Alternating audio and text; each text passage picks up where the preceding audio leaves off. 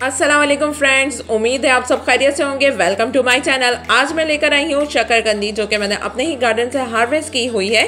जी जनाब, इसकी मैं बनाने लगी हूँ खीर। ईद भी आ रही है तो ईद पे चार चाँद लगा दिए जाए शकरकंदी की खीर बना के। जी हाँ जनाब, इसके इंग्रेडिएंट्स नोट कर लीजिए। ये मैंने तीन अदद शकरकंदी ली हैं फुल साइज़ वाली, या फिर चार अदद देख सकते हैं आप लोग साइज़ ठीक है? और इसके अलावा हमें ज़रूरत पड़ेगी ब्राउन राइस की। ये मैंने बासमती के ब्राउन राइस लिए हैं। किसी भी ब्रांड के आप यूज़ कर सकते हैं ब्राउन राइस ये मैंने हाफ़ कप लिया है टी कप वाला जो होता है, ठीक है? उसका हाफ़ कप लिया है मैंने या फिर एक मुट्ठी कह लीजिए। ठीक, इसके साथ हमें ज़रूरत पड़ेगी चीनी की। जी हाँ ये मैंने हाफ़ बॉल ले लिया है। इसका चाहे तो आप पीसी भी यूज़ कर सकते हैं, चाहे तो साबित यूज़ कर सकते हैं। मैंने साबित ही चीनी ली है। हाफ़ बॉल ले लिया है, ठीक है, ये देख सकते हैं आप लोग। और इसके अलावा हमें ज़रूरत पड़ेगी दूध की, जो कि मैं पाउडर का दूध यूज़ कर रही हूँ, एक किलो ले लिया। तो अब रेसिपी स्टार्ट करूँगी। सबसे पहले मैंने चावल को जो है बॉयल कर लिया है। तकरीबन हो गया, ठीक है, अब मैं इनको जो है ग्राइंड कर लूँगी।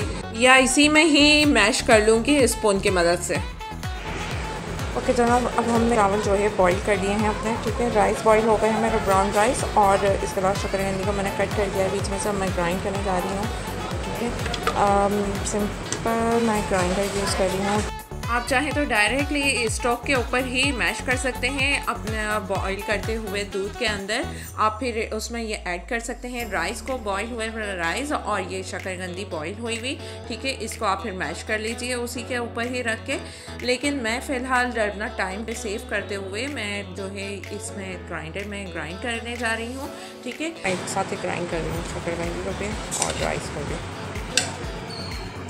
अच्छा चाहें तो आपके पास अगर शकरकंदी ज़्यादा है क्वांटिटी तो आप डायरेक्टली जो है सिर्फ़ शकरकंदी ही यूज़ कर दीजिए राइस डालने की बिल्कुल ज़रूरत नहीं है उसमें। अब ये सारा कुछ मैं ग्राइंड कर लूँगी।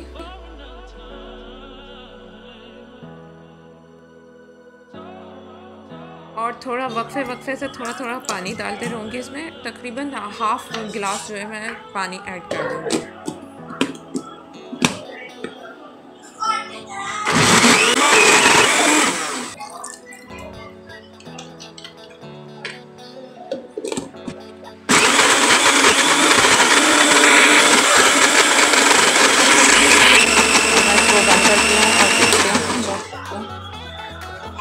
जी जनाब ठीक है ठीक है। साथ हो गया ओके ठीक है इस तरह से अब अलग से बर्तन में एक किलो दूध लिया मैंने, उसे मैं बॉईल कर लूँगी। या मैं पाउडर वाला दूध यूज़ कर रही हूँ। आप चाहें तो खुला दूध यूज़ कर सकते हैं। और यहाँ मैंने जो ये पेस्ट रेडी किया हुआ था राइस और पटाटो का ठीक है? इसका पेस्ट मैं ऐड कर लूँगी जब दूध के अंदर उबाल आ जाएगा। शुरू हो गया है? मैं के अंदर। ऐड करना स्टार्ट कर अंदर ये पेस्ट जो है ऐड करना स्टार्ट कर दूँगी।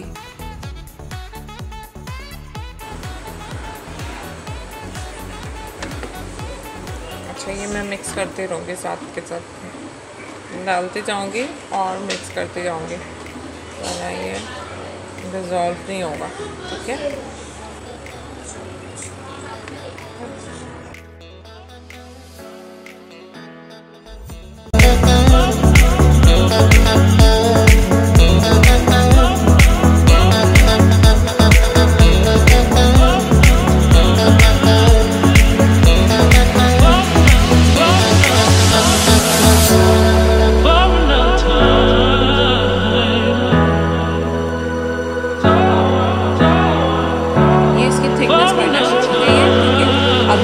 स्पून इसको हिलाते रहूँगी, उतना ही ये थिक और मज़ीद होते रहेगी खीर। ठीक है? अच्छा खीर में जो है, आप चाहें तो कस्टर्ड वगैरह भी ऐड कर सकते हैं, लेकिन मैं कस्टर्ड ऐड नहीं करूँगी क्योंकि खीर का अपना ही टेस्ट होता है और वैसे भी ईद आ रही है तो ईद में तो खीर की अलग ही बात होती है, जनाब। और मीठी ईद में तो ज़्यादा लोग खीर की डिमांड करते हैं। आप चीनी ऐड कर रहे हैं इसमें और आपने नोट किया होगा, मैंने हर चीज़ को जो है वक्फे वक्त ऐड चीनी भी डाल रही हूँ तो वक्फे वक्त डाल के और फिर स्पून से हिलाते जा रही हूँ ताकि गुटियाँ ना पैदा हो ठीक है, अब मैं इसे बस इसमें थिकनेस जैसी ही बढ़ेगी, मैं इसको चूल्हा बंद कर दूँगी ऑफ़ कर दूँगी और सर्व करके आपके सामने पेश कर दूँगी। जी जनाब, मैं गार्निश करके रेडी कर दी है मैंने खीर और ये इसकी लुक देखिए। वाह भाई वाह, सबको बहुत पसंद आएगी ये खीर। इस ईद आप भी स्वीट पटाटो की खीर रेडी कीजिए और स्वीट से कमेंट्स लेने के लिए रेडी हो जाइए। जी जनाब, मुझे भी फीडबैक दे के बताइएगा आपको कैसी लगी मेरी रेसिपी अल्लाह हाफिज। लाइक करें शेयर करें और मेरे चैनल को सब्सक्राइब करें। Bye-bye.